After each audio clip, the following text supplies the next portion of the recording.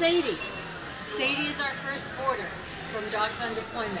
Her parents were deployed. One went to the Roosevelt and the other went somewhere we can't say.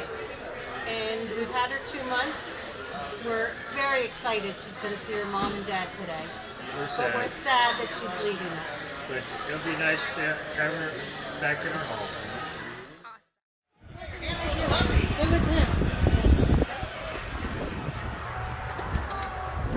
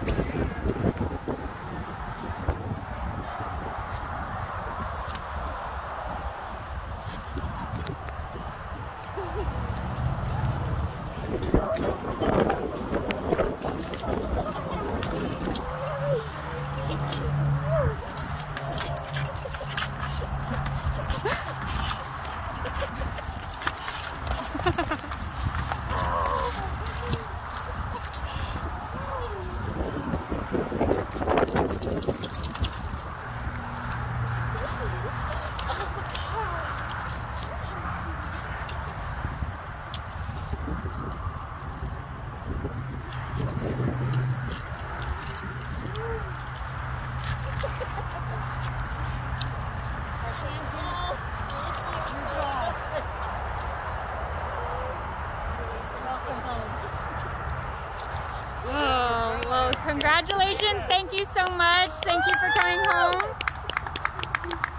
And thank you for everything you guys did.